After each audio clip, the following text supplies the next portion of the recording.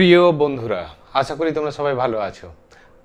আমি এই মুহূর্তে তোমাদেরকে জাস্ট দু তিনটে ইম্পর্টেন্ট টার্মের সঙ্গে পরিচিত করাচ্ছি, যেটা পপুলেশন সায়েন্স রিলেটেড এবং তোমাদের পরীক্ষার জন্য ইম্পর্টেন্ট তার মধ্যে প্রথম আজকে যেটা হচ্ছে, সেটা হচ্ছে ডেমোগ্রাফি হোয়াট ইজ ডেমোগ্রাফি এখন ডেমো কথাটার অর্থ এই যে এখানে দিয়েছি ডেমো মানে কি? দি পিপল আর গ্রাফি মানে মেজারমেন্ট অ্যাকচুয়ালি ডেমোগ্রাফিটা হচ্ছে scientific study of human population এখন তোমরা এর আগে এক্সপোনেনশিয়াল গ্রোথ ইকুয়েশন শিখেছো লজিস্টিক গ্রোথ ইকুয়েশন শিখেছো।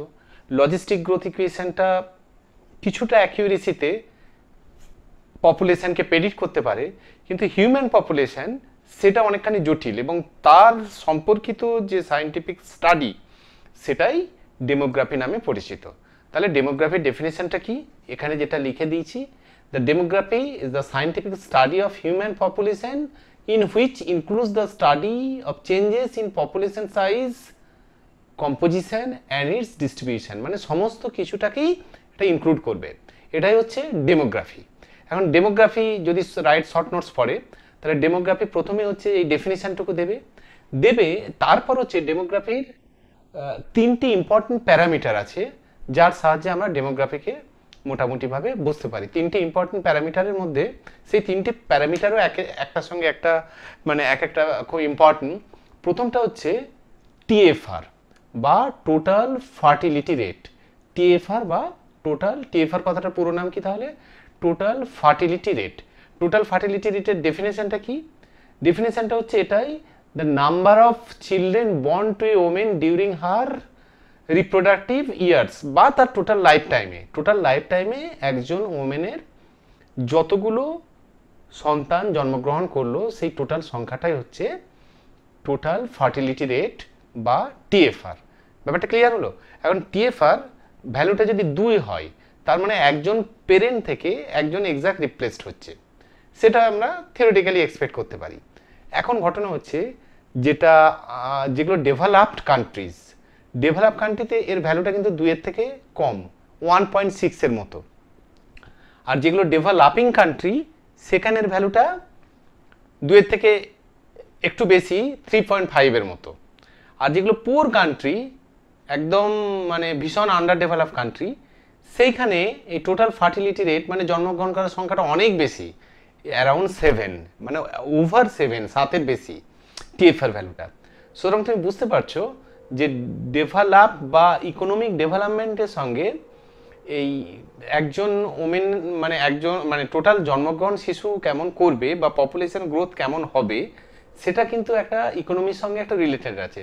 মানে যত ধনী দেশ হচ্ছে, সেখানে জন্মগ্রহণের সংখ্যাটা অনেক কম, আর পোর কান্ট্রি যেখানে, সেখানে কিন্তু জন্মগ্রহণের সংখ্যাটা অনেক বেশি। আচ্ছা আর একটা ইম্পর্টেন্ট প্যারামিটার সেটা হচ্ছে যেটা বলা যেতে পারে এই ডেমোগ্রাফির আন্ডারে আসবে, সেটা হচ্ছে ইনফ্যান্ট মর্টাল মর্টালিটি রেট বা আইএমআর ভ্যালু ইনফ্যান্ট মর্টালিটি রেটের ডেফিনেশনটা কি? না infant death per thousand life birth আর ইনফ্যান্টের বয়সটা এখানে ডিফাইন করা হয়েছে will be less than one year মানে এক বছরের নিচে, শিশু যদি যত শিশু এক বছরের নিচে যত শিশু জন্মগ্রহণ করল, তার হাজারের মধ্যে যতজন মারা যায়। মানে এক হাজার জন্মগ্রহণ করলে সে এক হাজারের মধ্যে এক বছরের বিলো বয়সে যতজন মারা যায়, সেই সংখ্যাটাই হচ্ছে ইনফ্যান্ট মর্টালিটি রেট ওকে, আরেকবার ডেফিনেশনটা বলে দিচ্ছি। The number of the deaths of infant under one year of age per Han per thousand alive birth in a given year কোনো একটা গিভেন ইয়ারে অফকোর্স মানে কোনো এক বছরে, এক বছরের নিচে শিশু পার থাউজেন্ড জন্মগ্রহণ যে করছে, পার থাউজেন্ড জন্মগ্রহণের মধ্যে যতজন মারা যাচ্ছে, সেই সংখ্যাটাই হচ্ছে ইনফ্যান্ট মর্টালিটি রেট ইনফ্যাক্ট তুমি বুঝতে পারছ, এই টিএফআর থেকে যদি আমরা এখন ইনফ্যান্ট মর্টালিটি রেট বা আইএমআরটাকে বাদ দিই টিএফআর এর সঙ্গে আইএমআরটাকে মানে বার্থ রেট আর তার সঙ্গে ডেথ রেট যদি বাদ দিই, সেইখানে আমরা একটা গ্রসলি আমরা increase of natural increase of population কত হতে পারে সেটা আমরা বলে দিতে পারি। অর্থাৎ যে টিএফআর মাইনাস আইএমআর ধরো টিএফআর ভ্যালুটাকে তুমি বললে এ আর আমি এখানে একটু লিখেই করছি, দরকার হলে একটা মিনিট ওয়েট করো। যে টিএফআর ভ্যালুটাকে যদি ধরো, আমরা ধরো টিএফআর ভ্যালুটাকে বললাম যে মানে ন্যাচারাল ইনক্রিজ অফ পপুলেশন সেটাকে আমরা যদি ইনক্রিজ আই দিয়ে আমরা বলি I will be equal to total fertility rate মানে যে রেটে জন্মাচ্ছে ফার্টিলিটি রেটকে যদি আমরা এফ বলি মাইনাস ইনফ্যান্ট মর্টালিটি রেট মর্টালিটিকে যদি এম এম বলি, তাহলে F minus M that will be the natural increase of population এর সঙ্গে যদি তুমি ইমিগ্রেশনটাকে যোগ করো, অর্থাৎ ধরো বাইরের দেশ থেকে কোনো একটা দেশের রেসপেক্টে পপুলেশন গ্রোথকে যদি ভাবো, ধরো বাইরে আমাদের দেশে বাইরের দেশ থেকে কোনো লোক, অনেক লোক এলো বাইরের দেশ থেকে। কোনো কিছু কারণে যে সেখানের আর্থসামাজিক পরিস্থিতি বা কোনো দাঙ্গা হাঙ্গামা, যাই বলো, যে কোনো কারণেই ধরো অন্য দেশ থেকে যখন এক দেশে লোক আসে, যে দেশে আসছে, সে দেশে জনসংখ্যাটা বাড়ছে, তাহলে সেটা তখন যোগ হবে। সেই ক্ষেত্রে পপুলেশন ইনক্রিজ ভ্যালুটা হয়ে যাবে এফ মাইনাস এম তার সঙ্গে যে মাইগ্রেশন, মাইগ্রেশনটাকে আমরা আচ্ছা মাইগ্রেশনটাও এম হয়ে যাচ্ছে। তাহলে মাইগ্রেশনটাকে ধরো, আমরা আই দিলাম আইও আছে। তাহলে এখানে এম টু দিয়ে দিলাম, যেখানে এম টুটা হচ্ছে মাইগ্রেশন ওকে তাহলে আই হচ্ছে natural increase of population natural increase of increase of population population F হচ্ছে আইএফআর বা sorry TFR TFR total fertility rate আর এম হচ্ছে ইনফ্যান্ট মর্টালিটি রেট আর এম টুটা হচ্ছে মাইগ্রেশন মাইগ্রেশন ওকে মাইগ্রেশনটা যোগ হবে। যে বাইরে থেকে যখন আসছে তাহলে এইটা হচ্ছে ন্যাচারাল ইনক্রিজ অফ পপুলেশন তাহলে ডেমোগ্রাফি যদি তোমাদের শর্ট নোটস পড়ে, এই কটা কথা লিখে দিলেই যথেষ্ট যে what is the definition of demography and ডেমোগ্রাফির আন্ডারে দুটো জিনিস আসছে। আমি বেশ তিনটে জিনিস আছে, আর একটাকে বলে এজ স্ট্রাকচার বা পপুলেশন পিরামিড এটাকে আমি ডিটেল করছি না, তোমরা তোমাদের বই থেকে একটু পড়ে নিও। তো এইটাও আছে, আর total fertility rate total mortality rate আর এজ স্ট্রাকচার বা পপুলেশন পিরামিড পপুলেশন পিরামিডটা আমি তোমাদেরকে বললাম, তোমাদের বই থেকে একটু পড়ে নিও। তাহলে এটা হচ্ছে যে ডেমোগ্রাফি সম্পর্কে আমার আলোচনা গেল। আর একটা জিনিস সম্পর্কে একটু তোমাদের বলতে চাই, সেটা হচ্ছে সাস্টেনেবল ডেভেলপমেন্ট সাস্টেনেবল ডেভেলপমেন্ট জিনিসটা কি? সাস্টেনেবল ডেভেলপমেন্টটা সাস্টেনেবল ডেভেলপমেন্ট মানে এটা আমি অনেকবার আগেই বলেছি, এটা ব্রুনল্যান্ডের ডেফিনেশন সেটা হচ্ছে সাস্টেনেবল ডেভেলপমেন্ট হচ্ছে এমন এক ধরনের ডেভেলপমেন্ট যেটা প্রেজেন্ট জেনারেশনের নিডকে পূরণ করবে without hampering the need for the future generation তাই তো? অর্থাৎ sustainable development is the development that meets the needs of the present present without compromising ability of future generation to meet their own needs এটা একদম classical ডেফিনেশনের ভাষাটা মানে খুব সহজ ভাষায় এটা, যে which will meet the need of the present generation without hampering the need for the future generation অর্থাৎ ফিউচার জেনারেশনের জন্য যে চাহিদাটা যতটা দরকার সেটা রাখবে এবং আমাদের বর্তমানে চাহিদা সেটাকেও পূরণ করবে। সেটাই হচ্ছে কি? সাস্টেনেবল ডেভেলপমেন্ট কারণ এই সাস্টেনেবল ডেভেলপমেন্ট এটাও পরীক্ষার জন্য ভীষণ ভীষণ ইম্পর্টেন্ট তাহলে ফার্স্ট সাস্টেনেবল ডেভেলপমেন্ট যেমন ডেমোগ্রাফি একটা write short notes on demography, এটাকে একটু আগে বললাম। এখন তোমাদের যেটা বলছি সাস্টেনেবল ডেভেলপমেন্ট সাস্টেনেবল ডেভেলপমেন্ট তাহলে ডেফিনেশনটা বা শর্ট নোটস বা যা খুশি কোশ্চেন পড়লে প্রথমে আগে তোমাকে ডেফিনেশনটা দিতে হবে। নেক্সট সাস্টেনেবল ডেভেলপমেন্টের বেসিক্যালি তিনটে কম্পোনেন্ট আছে। যে ডেভেলপমেন্টও একটা ডেভেলপমেন্ট কী কীভাবে হতে পারে? এক হচ্ছে ইকোনমিক ডেভেলপমেন্ট দুই হচ্ছে সোশ্যাল ডেভেলপমেন্ট আর তিন হচ্ছে এনভায়রনমেন্ট প্রোটেকশনের কথা আমাদের ভাবতে হবে। সাস্টেনেবল ডেভেলপমেন্টের কথা ভাবতে হলে। অর্থাৎ আমি যেটা বলতে চাচ্ছি এখন সাস্টেনেবল ডেভেলপমেন্টের বেসিক্যালি আমরা তিনটে কম্পোনেন্ট আছে। তাহলে সাস্টেনেবল ডেভেলপমেন্ট পরীক্ষায় পড়লে আগে ডেফিনেশানটা কি সেটাকে বলো, সেটাকে বলবে বা জিনিসটা কি তোমরা শিখলে। এবার এর তিনটে কম্পোনেন্টের এক হচ্ছে সাস্টেনেবল সাস্টেনেবল ডেভেলপমেন্ট ডেভেলপমেন্ট তিনটে ডেফিন তিনটে কম্পোনেন্টের নাম্বার ওয়ান যেটা সেটা হচ্ছে ইকোনমিক ডেভেলপমেন্ট এটা খুব ইম্পর্টেন্ট ইকোনমিক ডেভেলপমেন্ট মানেটা হচ্ছে যে, দেখো, এখন শিল্প বিপ্লব হওয়ার পর ইন্ডাস্ট্রিয়ালাইজেশান হয়েছে এবং প্রচুর পরিমাণে ইন্ডাস্ট্রিয়ালাইজেশান হয়েছে এবং ইন্ডাস্ট্রি ছাড়া ইনফ্যাক্ট আমরা এখন চলতে পারব না। কারণ ইন্ডাস্ট্রি থেকে আমাদের প্রয়োজনীয় অনেক কিছু জিনিস আমরা পাই। আর দ্বিতীয় কথা হচ্ছে যে, অনেক জব ক্রিয়েট করে। সেই কারণে ইন্ডাস্ট্রি আমাদের লাগবে। এবং শুধু তাই না ইন্ডাস্ট্রি কাল্টিভেশনেও আমরা অনেক টেকনোলজি ইউজ করছি, অনেক কিছু ইউজ করছি এখন। কাল্টিভেশন ইন্ডাস্ট্রি এই সমস্ত কিছুই আমাদের লাগবে এবং ডেভেলপমেন্ট দরকার আছে। কিন্তু সেই ডেভেলপমেন্টটা সাস্টেনেবল হওয়া চাই। অর্থাৎ সাস্টেনেবল মানেটা কি? এমনভাবে ডেভেলপমেন্টটা হবে, অর্থাৎ সেটা যতটা সম্ভব রিনিউয়েবল রিসোর্সকে ইউজ করবে, যতটা সম্ভব প্রোটেকশান করবে নন রিনিউয়েবল রিসোর্সকে এবং সেটা হচ্ছে যে মানে যতটা সম্ভব ন্যাচারাল রিসোর্স বা এনভায়রনমেন্ট প্রোটেকশন এনভায়রনমেন্ট প্রোটেকশান আলাদা একটা পয়েন্ট অবশ্যই, যে সেটাও দেখবে আর কি। যে ডেভেলপমেন্ট হবে ঠিক কথাই, কিন্তু সেটা ভবিষ্যতের কথা মাথায় রেখে। যে এমনভাবে ন্যাচারাল রিসোর্সকে আমরা নষ্ট করে দেব না, যার ফলে মানে ইকোনমিক ডেভেলপমেন্ট বা ইন্ডাস্ট্রি তো হলো ঠিক কথাই, কিন্তু ভবিষ্যৎ সেখানে অন্ধকার হয়ে গেল বা ভবিষ্যৎ জেনারেশনের প্রচণ্ড ক্ষতি হয়ে গেল, সেটা আমরা করব না। তাহলে আমরা ইকোনমিক ডেভেলপমেন্ট সম্পর্কে আমরা যেটা লিখতে পারি, যাই আমি বলে থাকি, এখন নোট আকারে তোমরা খাতায় এটা লিখে নাও, যে আমরা করব কি ইউজ অফ রিনিউয়েবল রিসোর্স এটা আমাদের মাথায় রাখতে হবে। Renewable renewable resource resource resources যতটা সম্ভব।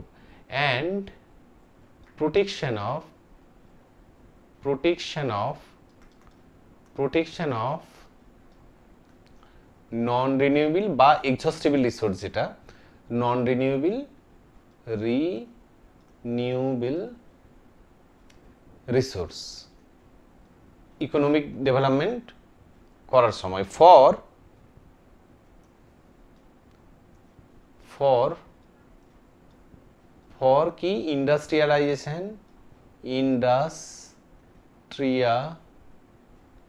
industrialization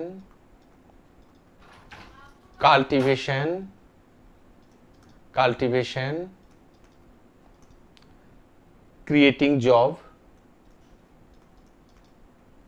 creating job, ETC. Okay? তার মানে আমরা জব ক্রিয়েশন বা ইন্ডাস্ট্রিয়ালাইজেশন বা যাই করি, সেটাকে যতটা সম্ভব রিনিউয়েবল রিসোর্স ইউজ করে করার চেষ্টা করব বা এমনভাবে করব যেটা কিনা ভবিষ্যতের তেমন কোনো ক্ষতি না করে। সেটা হচ্ছে ইকোনমিক ডেভেলপমেন্ট দুই হচ্ছে সোশ্যাল ডেভেলপমেন্ট সোশ্যাল ডেভেলপমেন্ট মানে এমনভাবে আমাদের ডেভেলপমেন্টটা হবে যেন একটা ইকুয়ালিটি থাকে ইনক্লুশন থাকে। যে ধনী, দরিদ্র সবার মধ্যে সবার একটা কমন সেটাই হচ্ছে সাস্টেনেবল ডেভেলপমেন্ট কোনো একটা সোসাইটি যদি অনেক আগিয়ে যায় আর অন্যটা যদি পিছিয়ে পড়ে থাকে তাহলে কিন্তু আলটিমেট যারা আগিয়ে যাচ্ছে, তারাও কিন্তু একসময় পিছিয়ে পড়তে বাধ্য হবে। এবং সেই কারণে সাস্টেনেবল ডেভেলপমেন্ট এই সাস্টেনেবল সোশ্যাল ডেভেলপমেন্ট বলতে ইনক্লুশন অফ অল অর্থাৎ ইকুইটি অর্থাৎ আমরা বলতে পারি এটাকে হেডিংটা হচ্ছে আমি বলতে যাচ্ছি যে কম্পোনেন্টটা হচ্ছে সোশ্যাল ডেভেলপমেন্ট ডেভেলপমেন্ট সোশ্যাল ডেভেলপমেন্টে এটা হচ্ছে it should take care of take care of care of equity among all people all people regarding basic need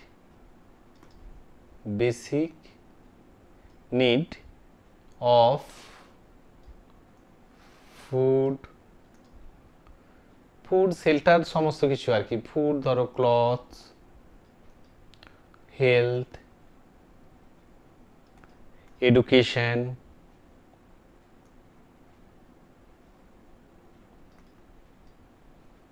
and control of এটাও important population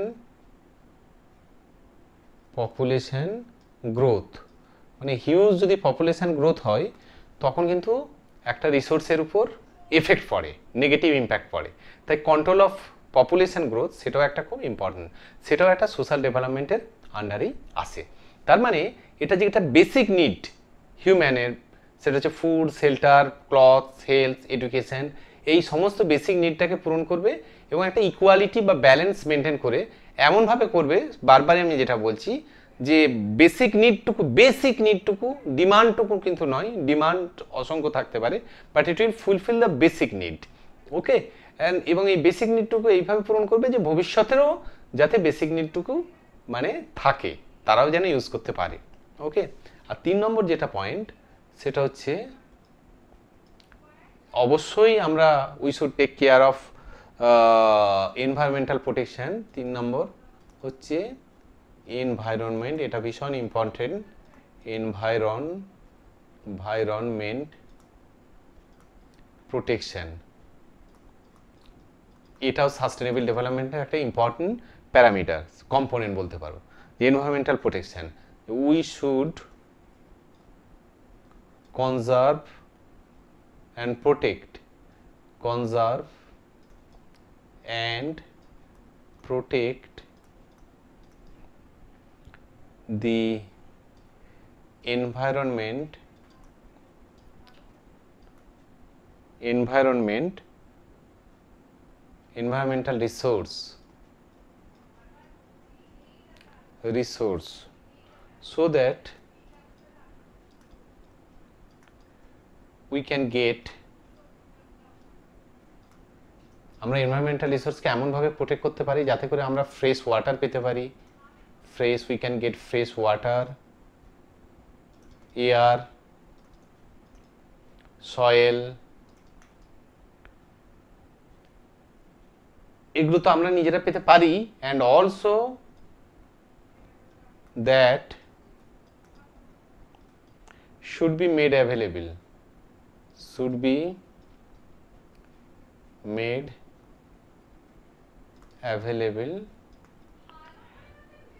To our future generation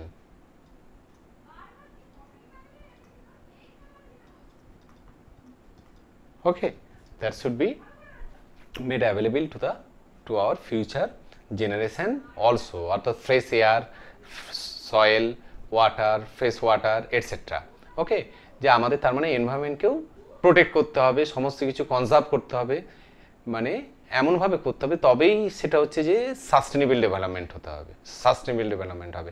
আমরা যদি নির্বিচারে এনভায়রনমেন্টালকে এনভায়রনমেন্টকে ধ্বংস করি ইন্ডাস্ট্রিয়ালাইজেশনের মাধ্যমে বা আরবানাইজেশনের মাধ্যমে বা যে কোনো পদ্ধতিতেই হোক, তাহলে কিন্তু সেটা সাস্টেনেবল ডেভেলপমেন্ট হলো না। তাহলে সাস্টেনেবল ডেভেলপমেন্টের বেসিক্যালি তিনটে কম্পোনেন্ট নিয়ে আমরা আলোচনা করলাম।